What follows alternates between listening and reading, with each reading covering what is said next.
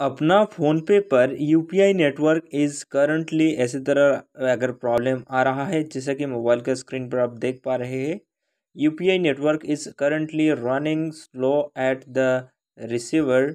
Bank, please try after some time. ऐसी तरह अगर कोई भी प्रॉब्लम दिखा रहा है, आपका फ़ोन पे वर्क नहीं कर रहा है तो इस वीडियो को शुरू से लेकर लास्ट तक देख लीजिएगा और आपका जो फ़ोन पे है, इसको आप हंड्रेड परसेंट ठीक कर लीजिएगा।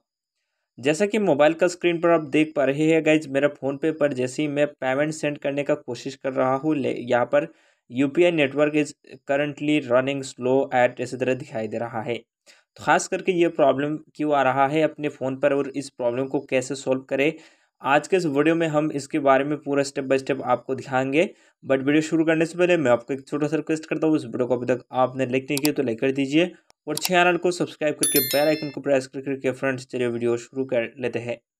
दोस्तों, मैं आपका साथ घुमा फिरा के बात नहीं करूँगा। इसका हंड्रेड परसेंट सोल्यूशन ये है कि आपको यहाँ से आपको बैक आ जाना है।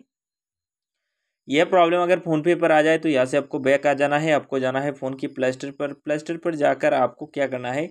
आपको यहाँ पर लिखना है फ़ोन पे। फ़ोन पे लिखना है अपने प्ले स्टोर पर जाकर। अगर आपकी फ़ोन पे ऐप अपडेट पर पड़ा है तो इस फ़ोन पे ऐप को आप अभी की अभी अपडेट दे दीजिए। जी हाँ दोस्तों, अपने फ़ोन पे ऐप को अपडेट दे दीजिए।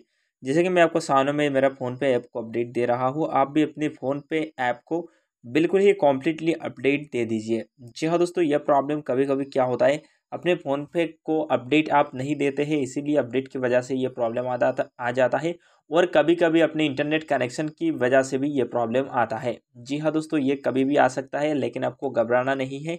आपका फ़ोनपे पर कुछ भी नहीं हुआ है, यह सिर्फ़ आपका सर्वर की प्रॉब्लम या तो अपनी अपडेट का प्रॉब्लम की वजह से ये प्रॉब्लम आता है।